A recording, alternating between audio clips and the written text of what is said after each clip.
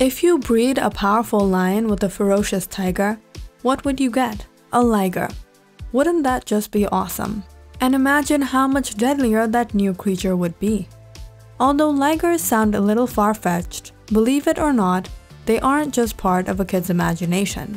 Ligers are real, and of course they're out there to get you in the real world and not just in your dreams. Quick, turn around, there's one coming at you. Before you get shredded into pieces and eventually mincemeat, don't forget to subscribe and click the notification button so you can get updated with new interesting videos that the liger and your minced meat can watch later on. First things first, you don't have to worry about ligers getting you out in the wild, because they only exist in captivity. Zoos, animal safari parks, sanctuaries, and menageries. It is estimated that there may be less than 100 ligers in existence, although the exact number is unknown. The first to take care of ligers was the Bloemfontein Zoo in South Africa in as early as 1935. Today, the USA is thought to hold the most number of ligers at 46, although there may be more in privately owned facilities. China is the second place where you could spot a liger. China is said to have 21 ligers in its zoos. And lastly, Russia has about 12 ligers in its custody.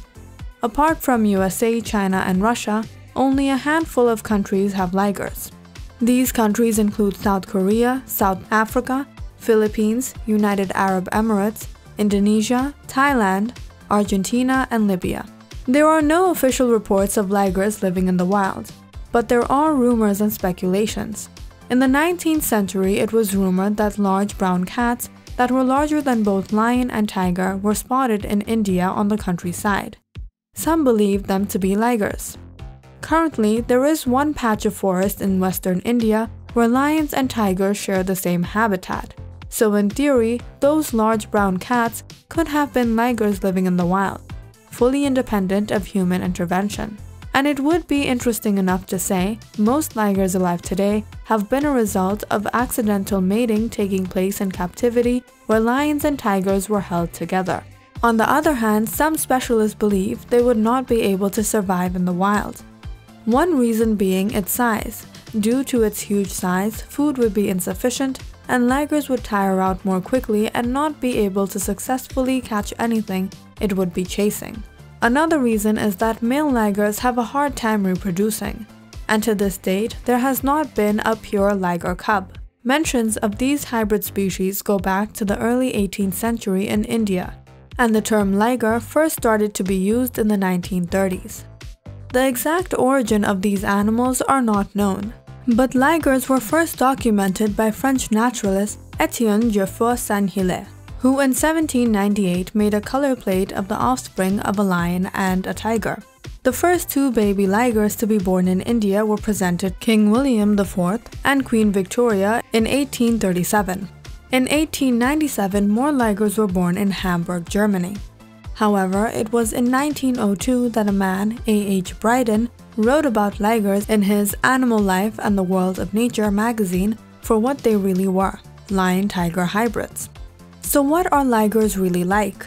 First off, lions and tigers are different species of cat and have different lifestyle and habitat.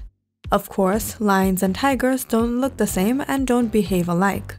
On the other hand, ligers have characteristics of both these species. Ligers have large muscular bodies and dark yellowish fur. Their body structure, including their heads, are more similar to a lion, although they do have faint stripes on their body like that of a tiger. Male ligers also grow manes, but it is not as impressive as a lion's mane. Their tails are more like that of a tiger, but their roars resemble that of a lion. But in some cases, they also do sound like a tiger. Ligers are highly social, and if they were left in the wild, they would probably live in prides, like lions. But some also assume that they would prefer a tiger's habitat, as ligers are good swimmers and like to be around water. A liger can reach speeds of 60 miles per hour and can easily bring down its prey because of its huge size. An average liger can weigh around 900 pounds. In comparison, lions and tigers can only weigh a maximum of 500 and 600 pounds respectively. Ligers can also grow to be 12 feet in length, and the biggest liger is a whopping 1600 pounds, making ligers the biggest cats in the world. Ligers are also the largest carnivorous animal on land, and second largest in the world after the southern elephant sea. Due to its huge size, tigresses need to have a C-section in order to give birth to a liger, and compared to a lion cub that would reach about 9 pounds in 60 days, a liger reaches 16 pounds in 60 days. Ligers can eat up to 100 pounds in a single meal, so they are prone to obesity. Their caretakers tend to feed them only 25 pounds of food every day. There is a misconception that due to crossbreeding and hormonal imbalances, they continue to grow throughout their lives, but that has been proven incorrect. Male lions and tigers become violent and territorial as they mature, whereas ligers remain calm throughout their entire lives.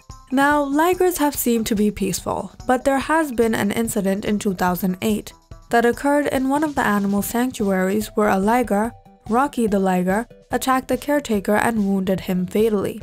Rocky the liger was the only liger to have killed a human being, and there was a debate whether Rocky should be put down or not. At the end, he wasn't, but Rocky eventually died in 2014 of natural causes. Now that's a lot about ligers. So if people have had ideas of crossbreeding male lions and female tigers, Sure enough, they have had ideas of crossbreeding male tigers and female lions, right? Yes, tigons. Although they are harder to breed, there are a small number of successfully bred tigons. Another reason for lesser number of tigons could be the fact that they are smaller and less attractive and interesting for the public. Like ligers, tigons have traits and characteristics like their parents.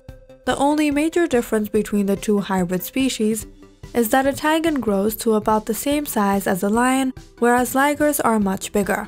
Tigons resemble more of a tiger than a lion, as their stripes are more visible, although the male species also have a mane. Lastly, tigons are not as muscular as their parents. Not only have we successfully bred lions and tigers, but Myrtle Beach Safari in South Carolina have a wonder of nature you might want your eyes to feast upon. A white liger. That's right, a combination of a white lion and a white tiger.